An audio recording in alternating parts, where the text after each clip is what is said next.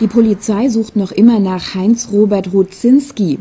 Der 68-Jährige wird seit Montag in Landscheid vermisst. Wie am Vortag ist die Polizei auch am Dienstagmorgen mit rund 50 Leuten im Einsatz. Dazu gehören 40 Polizisten der Bereitschaftspolizei, mehrere Kripo-Beamte, drei Diensthundeführer mit Tieren und zwei Personenspürhunde. Der Hubschrauber der Polizei wird die Suche unterstützen. Am Montagabend war die Suche, die den ganzen Tag angedauert hatte, bei Einbruch der Dunkelheit ergebnislos abgebrochen worden. Einer der Hunde hatte eine Spur gefunden, die nach Niederkeil führte und sich dort verlor.